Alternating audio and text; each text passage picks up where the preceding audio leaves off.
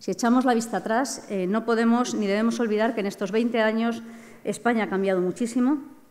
Hemos conseguido consolidando nuestra economía social de mercado y profundizando en una plena integración en la Unión Europea. Es verdad que si analizamos también las últimas eh, décadas no han sido fáciles. La crisis en los últimos años, la crisis financiera internacional puso de manifiesto la necesidad de acometer determinadas reformas estructurales, en ocasiones que se habían ido posponiendo, otras veces ignoradas, tanto a nivel nacional como en la Unión Europea, y el coste asumido finalmente en términos de empleo, de desigualdad y de deuda pública sigue siendo palpable, y en eso eh, tenemos un diagnóstico claro y tenemos que trabajar desde el Gobierno.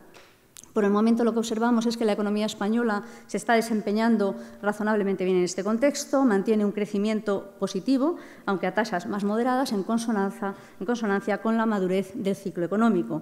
Las previsiones de todos los organismos, tanto nacionales como internacionales, prevén que en este año y en los siguientes la economía española siga creciendo a un ritmo razonable y por encima de la zona euro en todos los casos.